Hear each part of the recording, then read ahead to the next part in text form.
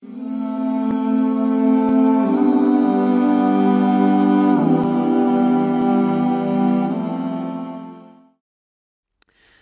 بالله من الشيطان الرجيم. بسم الله الرحمن الرحيم. الحمد لله رب العالمين وأفضل الصلاة وتم تسليم على سيدنا ونبينا محمد الصادق الوعد الأمين وعلى آله وصحبه أجمعين. اللهم علمنا ما ينفعنا وانفعنا بما علمتنا وزدنا علما يا عليم اللهم أرنا الحق حقا وارزقنا اتباعه وأرنا الباطل باطلا وارزقنا اجتنابه وادخلنا برحمتك في عبادك الصالحين Zahvala pripada Allahu, gospodaru nebesa i zemlje koji nas časti sa Ramazanom i koji nas časti sa Kur'anom. Salavat i selam našem voljenom poslaniku Muhammedu sallallahu alaihi wa sallam, njegovoj častnoj porodici, ashabima, našim šehidima i svim onima koji slijede istinu do sudnjega dana. Draga braćo i poštovane sestre, sestre, dragi prijatelji našeg tabačkog mešćida, mi nastavljamo evo da se družimo i u našim ramazanskim halkama. Kazali smo da je Ramazan posebno vrijeme u kojem treba da spoznajemo i da svatamo smisao posta. Nama Allah nije post propisao da bismo se patili, da bismo ostavili hranu, da bismo gladovali i žedni bili, nego nam je gospodar post propisao da bismo važne životne lekcije učili i da bismo duhovno sebe uzdizali. Ulema nas uči svojim primjerom kroz stoljeća Islama da kada bi došao Ramazan, oni bi ostavljali svoja predavanja, manje bi se obraćali ljudima, manje bi se družili sa ljudima, a više bi se okretali sebi i svom ličnom ibadetu. To ne znači da nisu imali interakciju sa ljudima, ali su svoj svakodnevni život prilagodili da više Kur'ana uči posebno su se okretali učenju Kur'ana u mjesecu Ramazanu i zato podsjećamo ovdje i sebe i vas da u Mubarek mjesecu Ramazanu imamo svoj dnevni, dnevni trenutak sa Kur'anom, da imamo momente kad se družimo sa Božijom knjigom i da imamo te trenutke u kojima ćemo mi sebe da jačamo. I zato gledamo da ove ramazanske halke budu i malo kraće, jer jedna važna poruka toga jeste da nama ne treba danas puno priče, koliko nam treba primjene i koliko nam treba istinske spoznaje i ubjeđenja u ono Ono što pričamo. I zato molim gospodara svih svjetova da nas pomogne na tom putu dobra. A zaista Abdullah, Abdullah ibn Abbas je kazao jednu, e, jednu veliku, jaku misao koja nas treba u Ramazanu probuditi je to je da onaj ko ne prouči Kur'an u mjesec dana, u 30 dana, ubraja se one koji Kur'an izbjegavaju. I zaista je Ramazan posebna prilika da preispitamo svoj odnos prema Kur'an Kerimu. Mi na ovim našim halkama čitamo hadise poslanika, sallallahu alaihi ve sellem donosimo salavate na njega i molimo gospodara svih svjetova da idemo njegovim stopama i da živimo stil života takav da se ne zastidimo poslanika alaihi salama na sudnjem danu. Jer bit će ljudi na sudnjem danu koji će govoriti da su slijedili poslanika alaihi salama, a on će ih od sebe odbaciti i kazati vi niste išli mojim putem. Vi ste živjeli drugačijim stilom života nego koji je bio moj stil. Mi molimo gospodara da ne budemo takvih ljudi, jer To je svakodnevna borba, to je svakodnevno nastojanje, to je trud da insan ide putem dobra i da zaista dostojanstveno živi po onom načinu života kako je to učinio poslanik alaih salatu wasalam. Zbog toga ovaj hadis kojeg ćemo večeras pročitati i čitamo ga iz zbirke imama Buharije, jeste hadis u kojem se podsjećamo kako to treba da bude ponašanje jednog postača. To je hadis od Ebu Hureyre, čiji smo prvi dio prošli put čitali, a nastavak tog hadisa glasi ovako, a nebi, a nebi Hureyre radijallahu anhu, kada Rasulullah sallallahu alaihi sallam, es sijamu džunnetun. Zaista je post štit, post je brana. Wa idha kana صَوْمِ sawmi Pa kada neko od vas bude postio fala يَرْفُثْ wala yaskhab pa neka ne, ne galami, neka ne govori ružne riječi, neka ne galami, neka ne podiže svoj ton. Fa in أَحَدٌ ahadun aw qatalahu falyaqul inni صَائِمٌ. Pa ako ga neko bude psovao, ako ga neko bude napao, neka kaže ja zaista postim. Ovaj hadis nas podsjeća na suštinu posta, a to je da je to ramazanska škola promjene dosta nas ima koji postimo, izađemo iz Ramazana, ništa u svome ponašanju ne promijenimo. I zato je izuzetno važno, izuzetno je bitno, draga braćo i poštovani sestre, da dok postimo, mi sebi govorimo, ja želim da kroz ovaj Ramazanski post popravljam makar nešto malo u svome ponašanju. Ne moraju te promjene da budu velike u našem životu. Ja znam jednog mladića koji mi je prije Mubarek Ramazana, dva dana prije Ramazana rekao, Hafizovim grijesi dušu slomši toliko grijeha ima, nema šta nisam činio, teško mi je zadnjih 4-5 mjeseci sam se okrenuo namazu, okrenuo se Kur'anu, živim drugi život u potpunosti. A Ramazan sam jedva čekao zato što želim da se posvetim do, do kraja svome gospodaru. Ramazan je prilika da sebi kažemo, ovaj teret skidam sa, sa svoga srca, želim da se posvetim gospodaru. Drugi mi je mladić na početku Ramazana kazao, želim da naučim kuransko pismo u Ramazanu, jer me stid gospodara. 28 je harfova arapskog pisma, 30 dana Ramazana. Svaki dan kaže da učim jedno slovo, ja mogu za mjesec dana Ramazana da naučim čitati arapsko pismo. I to je taj osjećaj koji treba da se probudi kod nas u Ramazanu. Da, nas, da budemo svjesni da nas Allah Ramazanom mijenja, da nas popravlja. Jer insan ima dva načina da se mijenja. Ili će se svojim trudom, radom, borbom, zalaganjem, radom na sebi popravljati i ići prema Allahom zadovoljstvu. Allah nas je za veliki cilj stvorio. Jer mi znamo da za, za, za uspjeh na Dunjalku je potreban trud i rad. Kako da za uspjeh na Ahiretu to ostvarimo bez ulaganja i rada na sebi. I s druge strane, ili ćemo doći do tog, do tog stepena tako što će nas Allah iskušati, staviti u teškoće, ili ne daj Bože ostaviti to čišćenje za sudnji dan, za budući svijet. Vjernik muslima dok posti svjestan je, Allah me zove sebi. I ja želim da dok postim, radim ono što će me približiti Allahom zadovoljstvu. I zato ne treba da naša dijela u Ramazanu budu velika. I ne moramo mi u Ramazanu Ramazanu sve da promijenimo. Ali fokusiraj se na jednu stvar. Kaži, ja imam osobinu da sam srdit, da se lako ljutim. Želim u Ramazanu da se iskontrolišem, da ne podižem svoj ton. I vježbaš 30 dana Ramazana da to popraviš i promijeniš.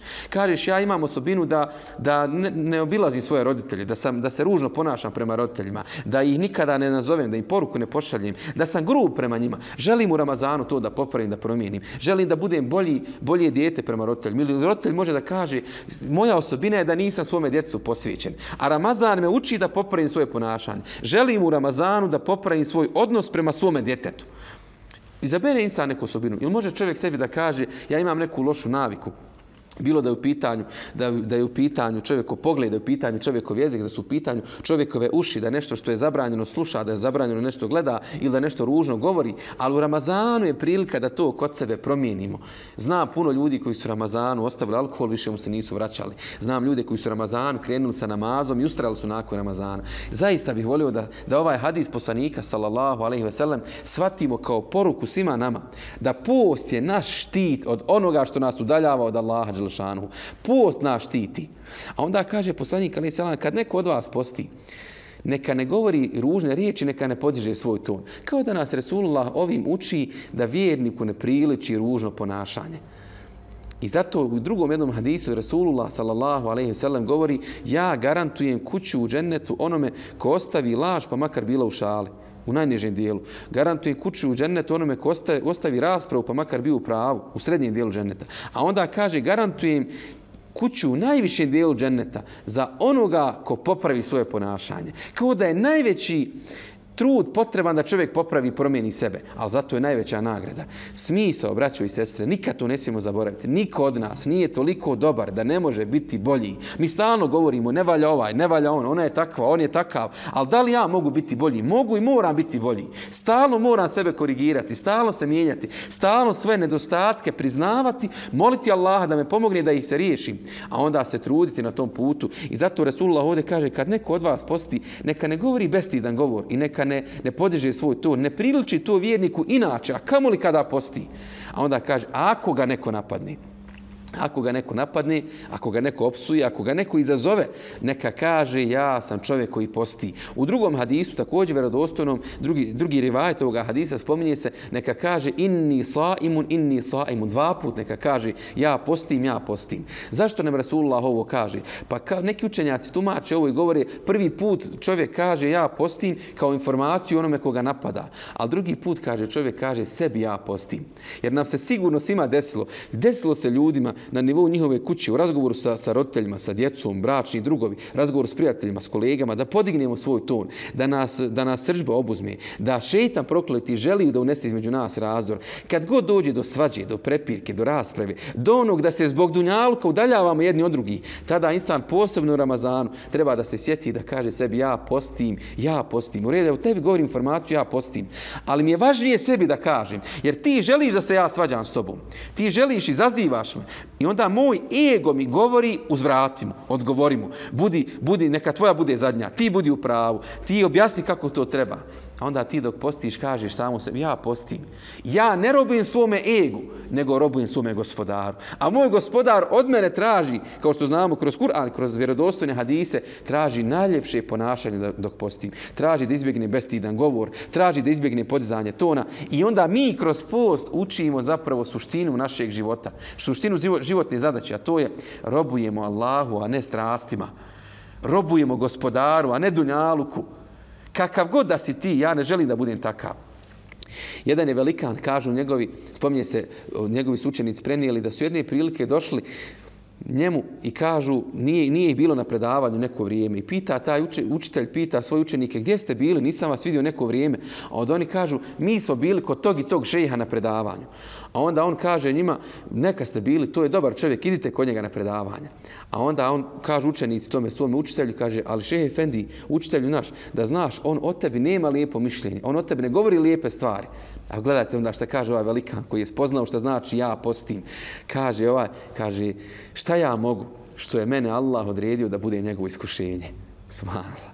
To što ti o meni misliš nešto ružno, to što ti o meni imaš loše mišljenje, šta ja mogu što je Allah tebe iskušao sa mnom, ja tebi želim dobro. Ja ne želim svađu, ja želim da budem konstruktivan, želim da ti pomognem, želim da riješimo problem, želim da, da ti otvorenog srca, u naj, želim da ti otvorenog srca proučim do ovog gospodaru svih svjetova da zajedno budemo u džennetu. Ništa nema protiv tebe, želim zaista da budemo zajedno na putu dobra. I zato, draga braćo i poštovane sestre, ovo ramazansko vrijeme, evo nalazimo se na samom kraju prve ramazanske trećine, subhanallah kako vrijeme brzo prolazi.